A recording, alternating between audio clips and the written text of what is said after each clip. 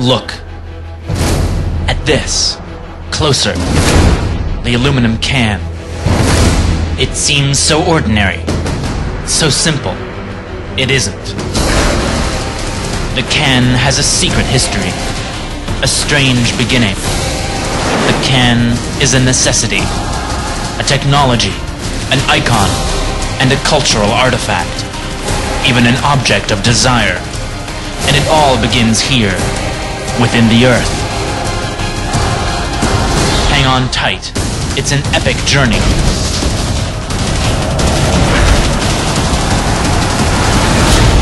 The can will never seem ordinary again.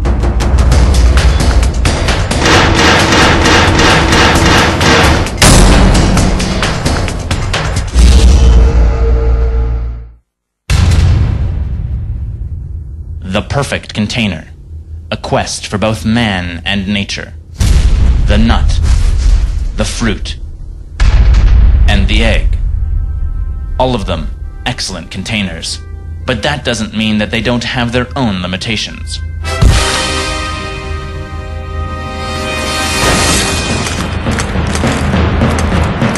But breaking, cracking, and shattering is half the container's job. An impenetrable container is useless. You have to be able to get out what you put in it. Behold, half an ounce of engineering perfection. The can.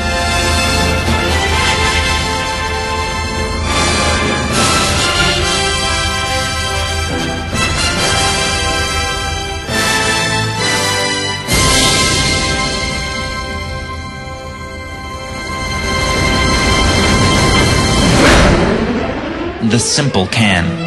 An invention that changed civilization. Pretty much all you need is fire and a can, and you can pretty much have any meal of the day. Put a thing of corn, pop the top off it, put it over a, f- put it over a flame, and you just eat out of the can. The great thing about cans is that they're accessible sculptures. They're meant to be held, they're meant to be played with, they're meant to be crushed, they're meant to be thrown away, they're meant to be saved and put on a shelf somewhere. Cans are really one of the most um, highly manufactured products in existence. It's pretty damn perfect. So the miracle of the can continues. The modern supermarket would not be the same without the can. The can changed our lives, the way we shopped, cooked, and ate. The can is the result of decades of relentless invention. Thousands of patents have transformed this into this. The can is as highly engineered as this or this. Precisely designed, not a single milligram of wasted material. Efficient, cheap, and mass produced on a mind boggling scale.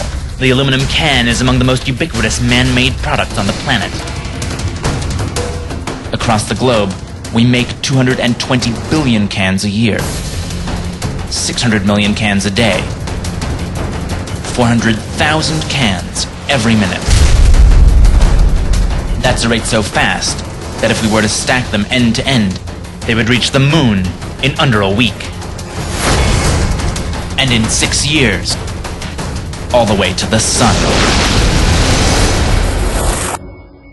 The perfect container. Perfect because of one thing aluminum. Light and strong. The ideal metal. Except for this fact in nature, there is no pure aluminum. It only exists as part of a rock. The story of the can begins here, in a bauxite mine in the wild west of the Australian outback. Aluminum is the most plentiful metal in the Earth's crust. And it is hidden within these rocks, tightly bound to oxygen, silicon, and a whole mess of other impurities. Extracting the pure, shiny metal will be an epic task. The demand for bauxite is voracious. These specially designed trucks, as tall as a two-story house, must haul and dump 154 million pounds per day. 58,000 pounds per minute. Over 3 million pounds an hour. seven days a week. A relentless onslaught of stone. But at current rates of extraction, all the bauxite deposits here will be gone in about 80 years.